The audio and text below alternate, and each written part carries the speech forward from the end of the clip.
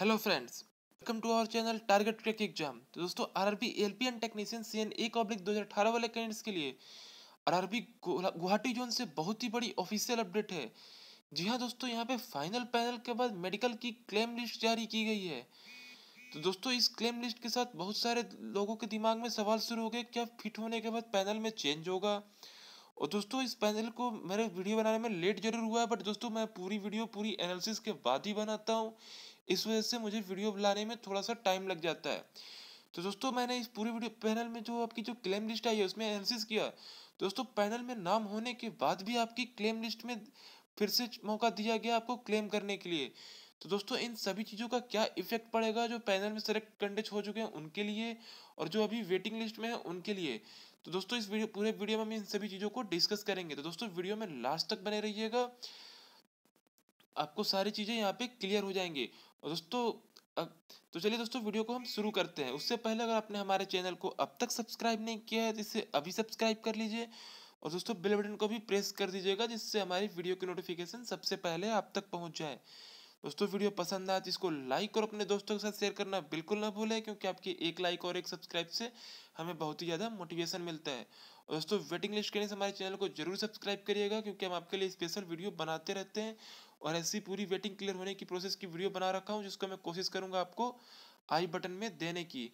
तो चलिए दोस्तों, मैं आपको सीधा लेके चलता हूँ। पहले जो ऑफिशियल यहाँ पे क्लेम लिस्ट आई है, उसको मैं आपको दिखाता हूँ। दोस्तों, यहाँ पे आप ऑफिशियल वेबसाइट पे देख सकते हैं। यहाँ पे आपको एक दिया गया है assistant loco pilot and technician second and final opportunity to appeal a free medical examination for the unfit candidates तो दोस्तों, इसको हम ओपन कर लेते हैं। तो आप यहाँ पे दोस्तों देख सकते हैं कि दोस्तों ये आठ एक दो हज़ार बीस की नोटिस है, जो कि दोस्तों आपको वीडियो ये दो दिन लगभग बाद मिल रहा है। आठ एक को शाम को आया था, मैं वीडियो आपको दस तारीख को प्रोवाइड करा रहा हूँ। तो दोस्तों आप यहाँ पे देख सकते हैं कि यहाँ पे आपको लिखा गया नाइन्टी टू कैंडिडेट्स को जो कि अनफिट पाए गए थे, उनको दोबारा मौका दिया गया है। फिर से दोबारा का दोस्तों ये तीसरी आपकी मतलब दूसरी चांस है अपील करने की। और दोस्तों इनको बीस तारीख से पहले यहाँ पे अपील करनी है, पाँच बजे से पहले। तो दोस्तों, यहाँ पे अपील का पूरा प्रोसेस वही है जो कि लास्ट टाइम आपको दिया गया था, आपको जस्टिफिकेशन देना है। साथ ही साथ आपको प्री सब्सक्राइब आपकी जो फॉर्मेट है, उस पर आपके गवर्नमेंट या प्राइवेट डॉक्टर से जो स्पेशलिस्ट है, उससे आपको अपने आप को फिट दिखा के वहाँ पे अपील करना है। साथ ही साथ दोस्तों डॉक्टर को ये भी बताना है कि जो आप इस तरह से अनफिट है, इस वजह से दिया गया और आपको दोस्तों एक हज़ार रुपये का डी लगाना है। तो अब दोस्तों देख लेते हैं, यहाँ पे आपको देख सकते हैं कि 92 लोगों का नाम दिया गया है, जबकि आप सभी को पता है एएलपी की पूरी पैनल हो चुकी है और टेक्नीशियन में भी कुछ 120 28 के आसपास सीट खाली है, जिसमें दोस्तों मैक्सिमम एनईसी गया है। तो दोस्तों क्या पैनल में चेंज होने के बाद मतलब अगर यहाँ पे मेडिकल कैंडिडेट्स फिट पाए तो पैनल में चेंज होगा। तो दोस्तों अगर यहाँ पे मेडिकल में कैंडिडेट्स फिट पाया जाता है तो दोस्तों, ज़रूर आपके पैनल में चेंज होगा, क्योंकि वो जो पैनल आपका आता है, वो दोस्तों प्रोविजनल पैनल है। फाइनल पैनल नहीं है वो।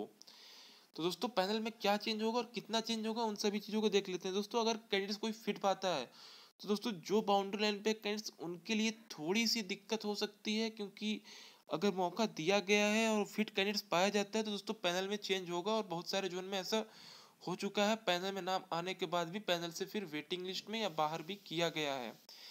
अब दोस्तों, जो कि मैंने दूसरा चीज़ थंबनेल में दिया था कि यहाँ पे आपका दोस्तों फाइनल पैनल में नाम आने के बाद भी क्लेम लिस्ट में मौका दिया गया है, जो कि मैंने बहुत सारे ऐसे कैंडिडेट्स का मैच कराया जिनका यहाँ पे क्लेम लिस्ट में मौका दिया गया और फाइनल पैनल में इनका नाम आ चुका है ऑलरेडी तो चलिए दोस्तों, मैं आपको प्रूफ के साथ दिखा देता हूँ।